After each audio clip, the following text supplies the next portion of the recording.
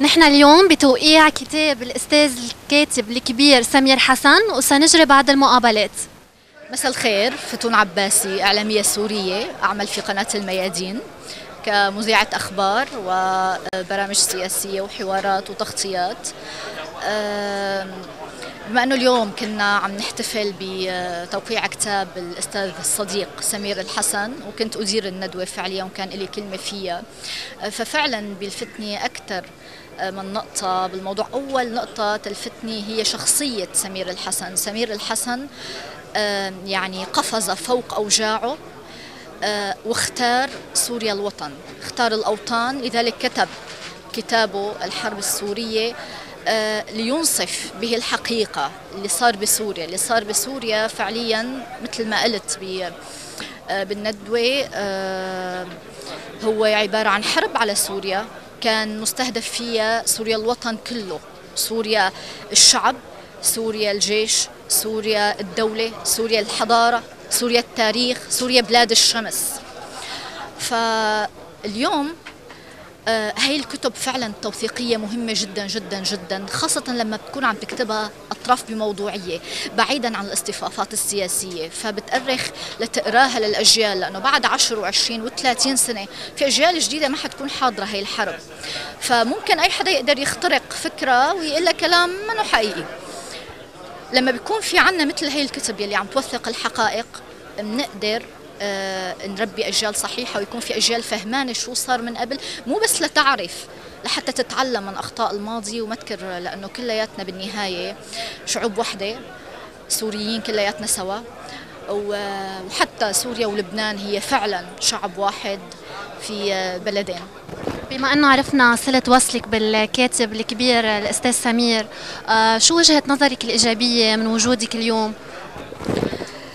صلة وصلي بالأستاذ سمير فعليا كانت مهنية. يعني أنا بتذكر أول ما تعرفت عليه لسمير الحسن تعرفت عليه بخلال حوار كنت مستضيفته بإحدى الحوارات أو التغطيات وهون كانت عن معركة حلب كانت ما بعد انتصار حلب فكان هو ضيف بندوة مع ضيوف آخرين وكان عم يحكي على الانتصار السوري بحلب.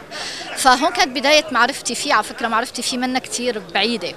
آه لكن تقوت فعلا بسرعة. وبعدين شوي شوي صرنا ندخل أنا وياه ببعض التفاصيل هيك العسكرية لأنه أنا بكتب كمان فأحد الكتابات اللي بكتبها بكتب عسكري سوري. فكنا عم ندخل عم نحكي هيك شوي عن معركة جوبر فكنت عم عم عم بحكي عن بعض المعلومات اللي عندي وعم ناخذ ونعطي شوية مناكفة على شوية موافقة وفعلا تقوت الصداقة بيني وبينه صارت صداقة يعني. هي بالنسبة للعلاقة بيني وبينه. الشيء الإيجابي اللي شايفته أنا شايفة الشيء الإيجابي إنه هلأ نحن فعلا بخواتيم هي الحرب العسكرية إن شاء الله ورايحين لمرحلة جديدة مرحلة إعادة آه، إعمار سوريا بإيدينا كلياتنا سوا. أنا بتشكرك وبتمنى لكم كل الخير.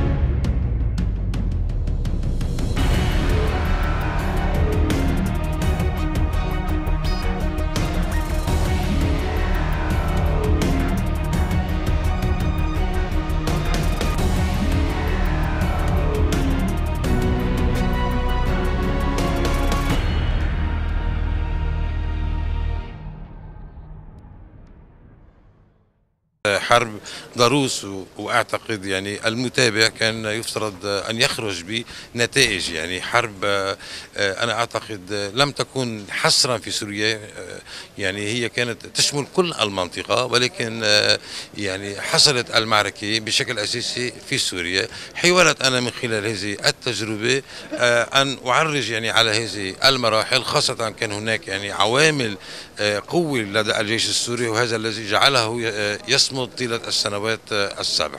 لمين تهدى نجاحات الكتاب؟ يعني حقيقة نحن معروفين بمجموعة العصف الفكري. نحن يعني مجموعة يدور يوميا حوارات بيناتنا. يعني عباس ظاهر مخوي عوض إلياس فرحات الأستاذ محمد علوش يونس عودة كمال خلف الطويل. كل تلك يعني النقاشات مع هذه المجموعة هي التي أنتجت هذا الكتاب.